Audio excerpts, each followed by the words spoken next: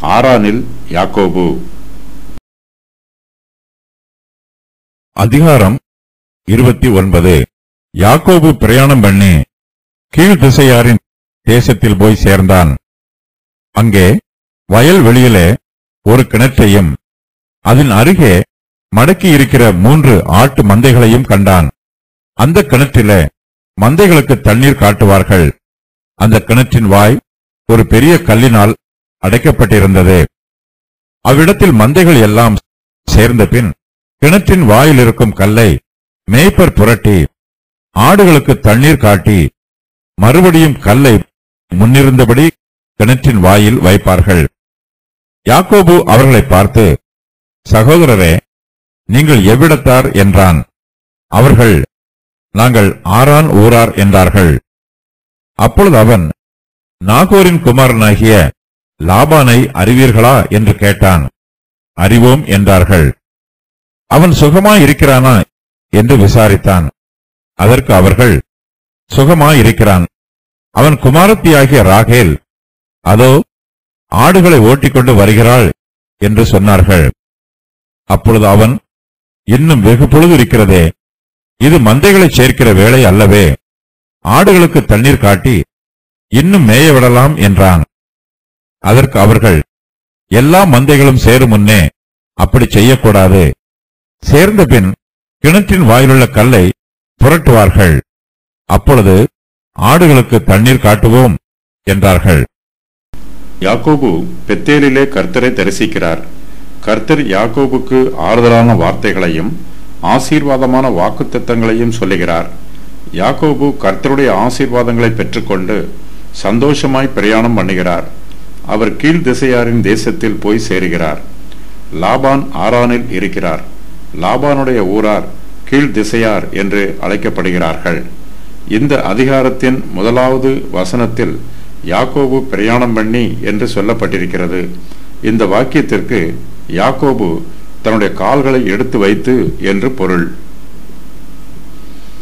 யாக்கோவின் பிரயாணம் சந்தோஷமாக முடிவு பெறுகிறது யாக்கோபு எங்கே வரவேண்டுமோ அங்கே கர்த்தர் அவரை வழிநடத்தி கொண்டு வருகிறார். யாக்கோபுக்கு பிரயாணத்தில் ஒரு ஆபத்தும் ஏற்படவில்லை. யாக்கோபு போகிற இடத்திலெல்லாம் கர்த்தர் அவரை காத்து வழிநடத்துகிறார். கர்த்தர் யாக்கோபை கைவிடவில்லை. யாக்கோபு ஆறானிலே வந்து சேருகிறார். அங்கே யாக்கோபு வயல்வெளியிலே ஒரு கிணற்றையும் அதன் அருகே மடக்கி இருக்கிற மூன்று ஆட்டு மந்தைகளையும் காண்கிறார். அந்த கிணற்றில மந்தைகளுக்கு தண்ணீர் காட்டுவார்கள். அந்த கிணற்றின் வாய் ஒரு பெரிய கல்லினால் அடைக்கப்பட்டிருக்கிறது. பூமியின் மேலுள்ள தூசிகள் காற்றினால் அடித்து வரப்படும் மணல்கள் ஆகியவை கிணற்றினுள் போகாதவாறு அதை ஒரு கல்லினால் அடைப்பது வழக்கம். சில கற்கள் மிகவும் பெரியதாகவும் கனமுள்ளதாகவும் இருக்கும். அதை புரட்டுவதற்கு பலர் தேவைப்படலாம். மேய்ப்பர்கள் எல்லா மந்தைகளும் வரும் வரைக்கும் கல்லை புரட்டாமல் காத்திருப்பார்கள். பொதுவாக கிணற்றின் கல்லை காலையிலும் மாலையிலும் புரட்டி திறப்பது வழக்கம். இவ்வேளையில் ஊரில் உள்ள ஸ்திரீகளும் தண்ணீர் எடுத்துச் செல்வதற்கு வருவார்கள். கிணறுகளை சுற்றியே கிராமங்களின் குடியிருப்பு இருக்கும். பூர்வ காலத்தில் தண்ணீர் பஞ்சம் இருந்தபடியினால் தண்ணீருக்காக வாக்குவாதங்களும் சண்டைகள் ஈசாக்கும் பெலிஸ்தரின் ராஜாவும் ஆபரகாம் தோண்டிய திறவுக்காக பல மாதங்களாக சண்டை போட்டுக் கொண்டார்கள். அவ்விடத்தில் மந்தைகள் எல்லாம் சேர்ந்தபின் கிணற்றின் வாயில் இருக்கும் கல்லை மேய்ப்பர் புரட்டி ஆடுகளுக்கு தண்ணீர் காட்டி மறுபடியும் கல்லை முன்னிருந்தபடி கிணற்றின் வாயில் வைப்பார்கள். யாக்கோபு இப்போது ஆரானுக்கு வந்திருக்கிறார். ஆனால் தான் எங்கே வந்திருக்கிறோம்? என்பது யாக்கோபுக்கு தெரியவில்லை. யாக்கோபு மூன்று ஆட்டு மந்தைகளையும் அவற்றை மேய்க்கிற மேய்ப்பர்களையும் அந்த ஊரிலே பார்க்கிறார். யாக்கோபு அவர்களை பார்த்து சகோதரரே நீங்கள் எவ்விடத்தார் என்று கேட்கிறார். அவர்கள் நாங்கள் ஆரான் ஊரார் என்று யாக்கோபுக்கு பிரதியுத்தரம் சொல்லுகிறார்கள். லாபான் ஆரான் ஊரை சேர்ந்தவர் என்பது யாக்கோபுக்கு தெரியும். மந்தைகளை மேய்க்கிறவர்கள் லாபானை அறிந்திருக்கிறார்களா என்பதை தெரிந்து கொள்ள யாக்கோபு ஆவலாய் இருக்கிறார். யாக்கோபு அந்த மேய்ப்பர்களை நோக்கி நாகோரின் குமாரனாகிய லாபானை அறிவீர்களா என்று கேட்கிறார். அவர்களும் அறிவோம் என்று சொல்லுகிறார்கள். லாபான் நாகோரின் குமாரன் அல்ல. இவன் நாகோரின் பேரன். லாபான் பெத்துவேலின் குமாரன். பெத்துவேல் நாகோரின் குமாரன். யாக்கோபு அவர்களிடத்தில் லாபானின் சுக செய்தியை விசாரிக்கிறார். அவன் சுகமா இருக்கிறானா என்று யாக்கோபு மேப்பிர்களிடத்தில் கேட்டபோது அதற்கு அவர்கள் சுகமாய் இருக்கிறான் என்று சொல்லுகிறார்கள். அப்போது அங்கே லாபானின் குமாரத்தியாகிய ராகேல் ஆடுகளை ஓட்டிக்கொண்டு வருகிறாள். மந்தைகளின் மேப்பர்கள் ராகேலை பற்றி யாக்கோபுக்கு சொல்லுகிறார்கள்.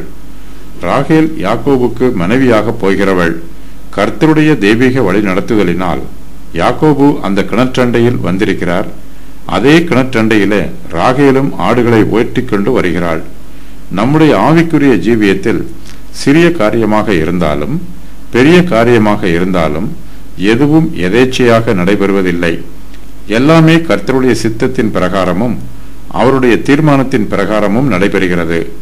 நம்முடைய ஆவிக்குரிய பிரயாணத்தில் கர்த்தரும் நம்மோடு கூட வருகிறார். அவர் நம்மை கரம் பிடித்து வழிநடத்துகிறார். நாம் கர்த்தருடைய அடிச்சூடுகளை பின்பற்றி செல்ல வேண்டும். அப்போது நம்முடைய பிரயாணத்தில் பாதுகாப்பும் ஜெயமும் கிடைக்கும். நம்முடைய வாழ்க்கையில் நாம் சிலரை சந்திப்போம். அவர்கள் நமக்கு பிரயோஜனமான ஆலோசனைகளை சொல்லுவார்கள். இந்த சம்பவங்கள் எதேச்சையாக நடைபெறுகிறது என்று நாம் நினைக்கக்கூடாது. கர்த்தருடைய தெய்வீக வழிநடத்துதலின் பிரகாரமாகவே நாம் அவர்களை சந்திக்கிறோம்.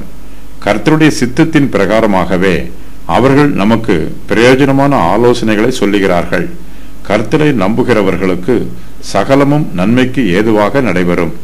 இந்த வசன பகுதியில் மேய்ப்பர்களை பற்றியும் அவர்களுடைய மந்தைகளை பற்றியும் அதிகமாக சொல்லப்பட்டிருக்கிறது. நம்முடைய கர்த்தராகிய இயேசு கிறிஸ்து நமக்கு நல்ல மேய்ப்பராய் இருக்கிறார். அவரே பிரதான மேய்ப்பர். இயேசு கிறிஸ்துவின் சபையே அவருடைய தொழுவம். விசுவாசிகள் எல்லோரும் இயேசு கிறிஸ்துவின் தொழுவத்தில் உள்ள ஆடுகளாய் இருக்கிறார்கள். நல்ல மேய்ப்பர் தன் ஆடுகளை அறிந்திருக்கிறார். ஆடுகள் மேய்ப்பரின் சத்தத்திற்கு செவி கொடுக்கும் நானே நல்ல மேய்ப்பன். பிதா என்னை அறிந்திருக்கிறது போலவும் நான் பிதாவை அறிந்திருக்கிறது போலவும் நான் என்னுடையவைகளை அறிந்தும் என்னுடையவைகளால் அறியப்பட்டும் இருக்கிறேன். ஆடுகளுக்காக என் ஜீவனையும் கொடுக்கிறேன். யோவான் பத்து பதினான்கு பதினைந்து. யாக்கோபு ஆறானில் உள்ள மேய்ப்பரோடு பேசிக் கொண்டிருக்கிறார் யாக்கோபும் ஆடுகளை மேய்க்கிறவர். அவருக்கு மந்தைகளை எப்படி மேய்க்க வேண்டும் என்றும் ஆடுகளுக்கு எப்போது தண்ணீர் காட்ட வேண்டும் என்பதும் தெரியும். யாக்கோபு ஆரானில் உள்ள மந்தைகளின் மேய்ப்பர்களை நோக்கி இன்னும் வெகு பொழுது இருக்கிறதே. இது மந்தைகளை சேர்க்கிற வேலை அல்லவே. ஆடுகளுக்கு தண்ணீர் காட்டி இன்னும் மேயவிடலாம் என்று சொல்லுகிறார். எல்லா ஆடுகளுக்கும் ஒரே வேளையில் தண்ணீர் காட்ட வேண்டும் என்று மேய்ப்பர்கள் சொல்லுகிறார்கள். ஆடுகளுக்கு தண்ணீர் காட்டுவதற்கு என்று அவர்கள் ஒரு குறிப்பிட்ட நேரத்தை ஒதுக்கி இருக்கிறார்கள் அந்த வேளையில் எல்லா மேய்ப்பர்களும் கிணற்றண்டையிலே ஆடுகளை ஓட்டிக்கொண்டு வருவார்கள். மந்தைகளின் மேய்ப்பர்கள் யாக்கோவை நோக்கி எல்லா மந்தைகளும் சேரும் முன்னே அப்படி செய்யக்கூடாது. சேர்ந்தபின் கிணற்றின் வாயிலுள்ள கல்லை புரட்டுவார்கள். அப்பொழுது ஆடுகளுக்கு தண்ணீர் காட்டுவோம் என்று சொல்லுகிறார்கள். ஆடுகளுக்கு தண்ணீர் காட்ட ஆரானில் உள்ள மேய்ப்பர்களும் வருவார்கள். மற்ற ஊர்களில் உள்ள மேய்ப்பர்களும் வருவார்கள். ஆரானில் உள்ள மேய்ப்பர்கள் அந்நியர்களை உபசரிக்கிறார்கள். அவர்களுடைய ஆடுகளுக்கும் தண்ணீர் கொடுத்து அவர்களை ஆதரிக்கிறார்கள். அன்பின் பிரமாணம் மிகுந்த பலம் உள்ளது குணசாலியான ஸ்திரீ தன் வாயை ஞானம் விளங்க திறக்கிறாள்.